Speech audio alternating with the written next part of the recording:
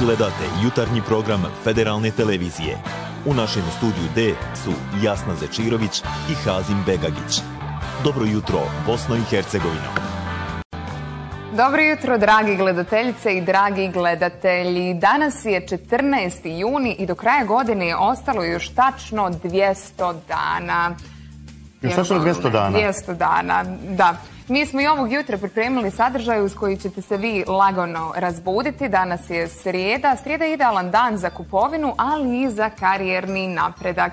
Mada kažu da iza svake uspješne žene stoji značajna količina kafe. Tako da ni ovog jutra nećemo započeti ovo druženje bez čarobnog napitka. Počet ćemo raspjevano kako smo i navikli e, sa našim jutarnjim songom. Hajde. I došlo je vrijeme da vam predstavimo i prve servisne informacije. Pošto je Hazem najavio da će nas sunce obasjeti tek u julu, a danas je 14. juni, idemo vidjeti kako nas vrijeme očekuje ovog dana. Dan godnije, pa to su nam neke lijepe vijesti. Jesu, a sada ćemo e, čuti kakve su e, trenutne prilike na bosansko-hercegovačkim cestama, sudeći prema zvaničnom izvještaju koji dobijamo svakog jutra i e, Bujce. Zbog radova na mostu na Iliđi, saobraćaj se iz smjera Blažuja preusmjerava na kraća čekanja ne duža od 30 minuta. E pa nećemo ni mi ništa da čekamo. Sa vama smo do pola devet. Idemo da vidimo odmah šta smo vam pripremili za ovo jutro. I studijski album ujedno je objavio i single Ružice za koji je snimio jedan vrlo interesantan video spot. E, taj spot gledamo i tu pjesmu slušamo u nastavku. Naš prvi jutrašnji prijedlog za hit dana. Sati, ali evo Željko Bebek je obećao da će nam kupiti svima sat koji ide unazad, tako da slušamo njega, zaustavimo se na trenutak i uživajmo. Željko Bebek i kupit ću nam sat i naš drugi prijedlog za hit dana ovog jutra. Ukoliko niste još uvijek, obavezno uđite na Instagram profil i glasajte za svog favorita. E, dok ne dođemo do trećeg našeg muzičkog pregleda, idemo do Olivera Bevande koji se nalazi u Mostaru i donosi nam prve. Čuli ste i na koje predstave možete otići u Mostaru. Hazim je obećao da će mene odvesti, jel tako Hazim? Tako je, jasna. E, ja ne mogu više bez tebe to je naziv pjesme. E, naziv pjesme koju nudimo našim gledateljima jutros kao treći prijedlog, da meni ti to pjevaš, ja ti vjerovao ne bi, s obzirom da smo zadnju emisiju zajedno radili prije dva mjeseca. Kako je to moguće? Hajde, nema veze, raspravit ćemo to, slušamo sad treći prijedlog za hit dana. Eto, sad znamo tačno kako izgleda popis jutrošnjih prijedloga za hit dana.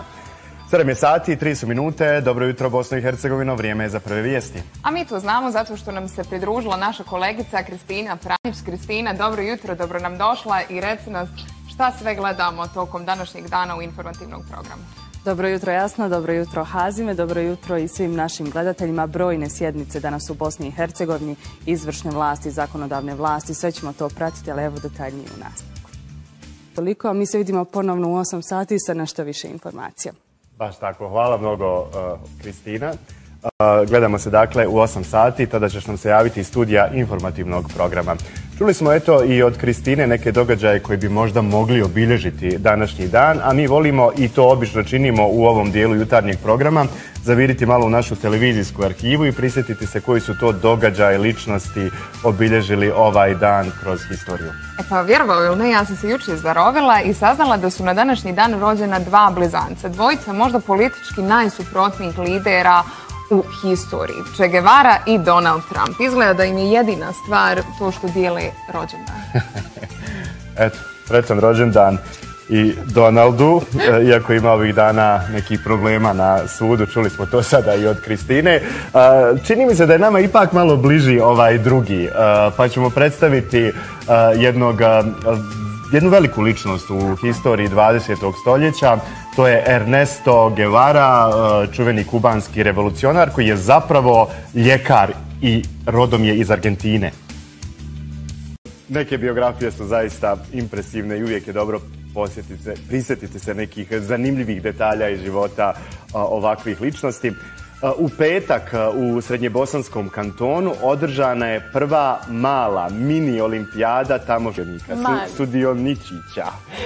Okušali su se u brojnim sportovima. E, da, Malešani su e, dobili zaslužene medalje, pehare za njihov izvanredan doprinos, a svakako cilj ove manifestacije je bio podizanje svijesti kod djece kada je u pitanju e, sport, koliki su benefiti i nekako da se uvežu svi ti vrtići i se da će se olimpijada održati još mnogo puta, tako da je ovo samo početak. U koji si ti vrtić išla? U, u, e, išla sam u više vrtića. I tad nestašna bila. Iz vrtića su je izbacivali zbog lošeg vladanja. Malo ćemo se zadržati na temi obrazovanja u izazovnom vremenu društvenih mreža te sve učestalijeg vršnjačkog nasilja.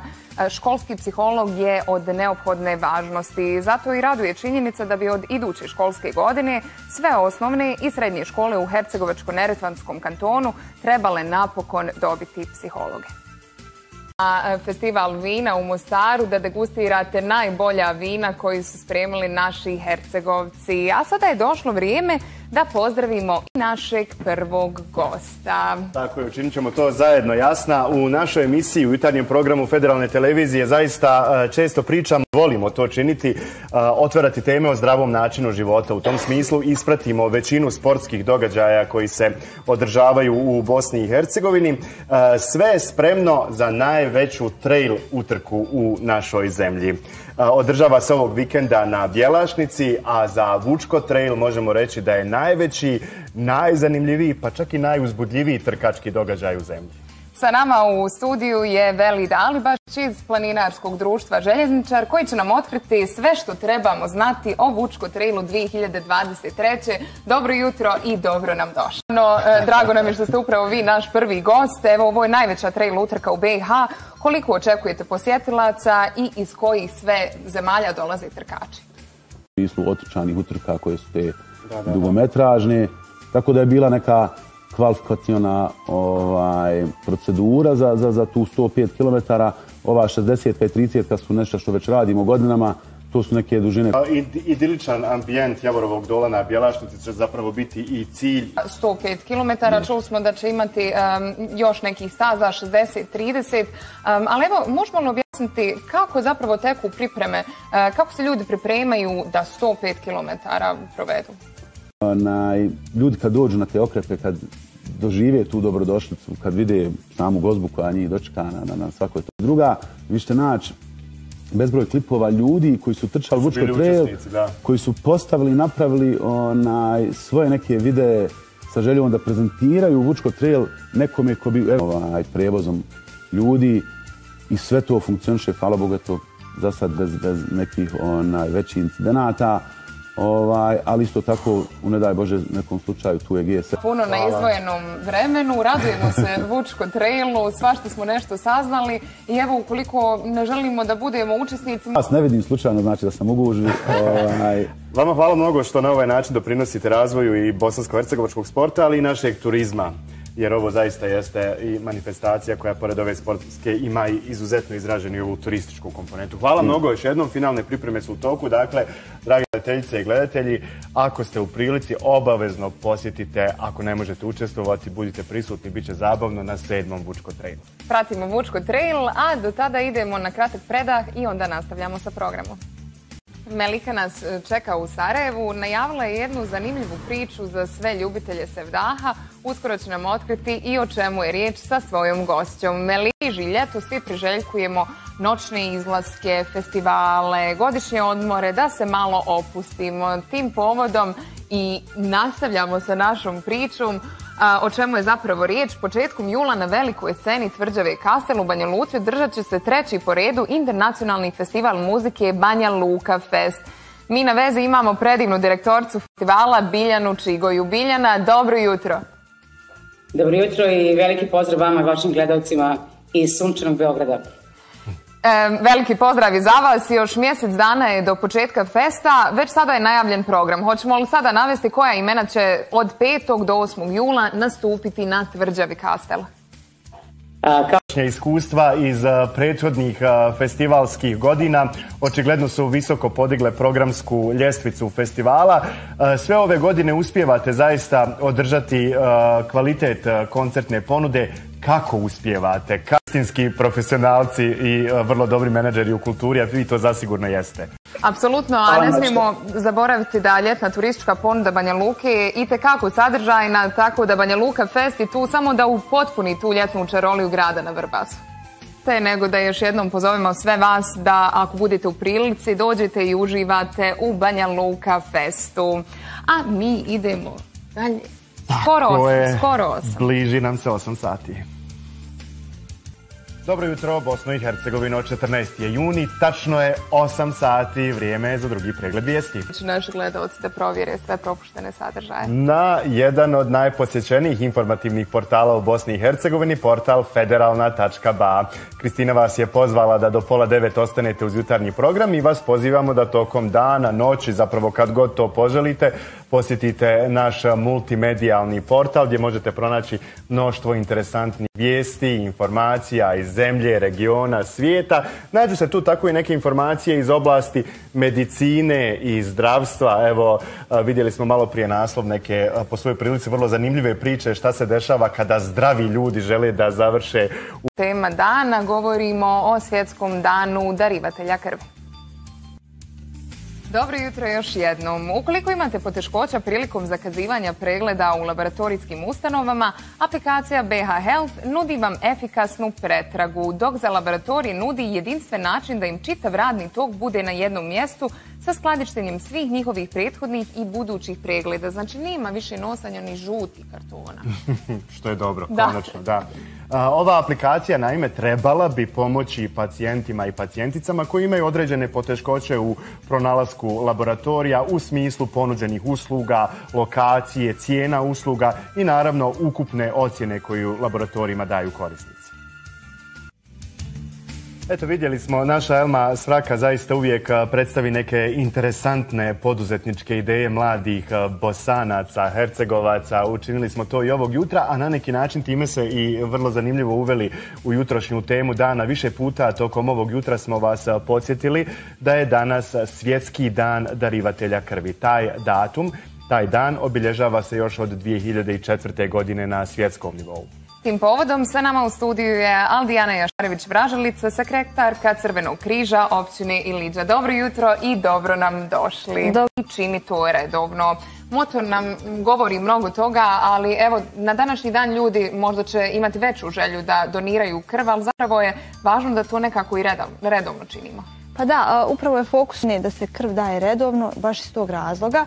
I apel je dakle svim mladim ljudima, ovi, ovima koji imaju 18 godina, koji nikad nisu darivali krv, da, da se odvaže, jel, da pokušaju dati krv, jer to zaista nije ništa strašno, a zaista će ovaj, doprinijeti svakome kome je krv potrebna.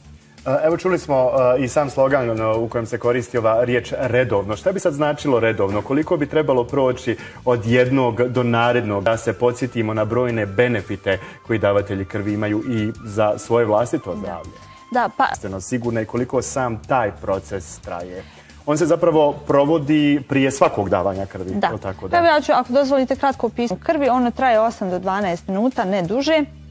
Uz naravno par minuta oporavka nakon toga gdje sjednete, popijete sok i, i, e, zahvalni keksić. obrok. Keksić ili zavisi šta je, šta je u ponudi koji put. I e, malo, jel, eto, da e, ljudi koji u svojim internim aktima, prvenstveno pravilnicima radu, pa u tom smislu recimo za darivatelje krvi za svako darivanje. Vi kad darujete krv dobijete od Zavoda za transfuzijsku medicinu, dobijete potvrdu da ste darivali krv i da jel, imate slobodan dan. Međutim, mnogi poslodavci nažalost to ne ispoštuju. A, u, u javnom sektoru je malo drugačije zaista, ali u privatnom e, znate kako to već funkcioniše.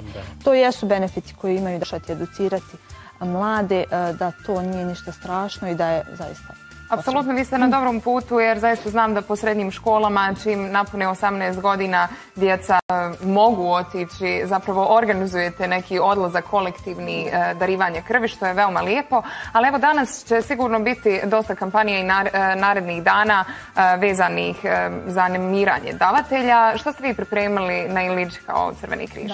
Pa mi inače ovom prilikom bih pozvala sve one posebno mlade, jel, da daruju Poznat nam je jutrašnji hit dana.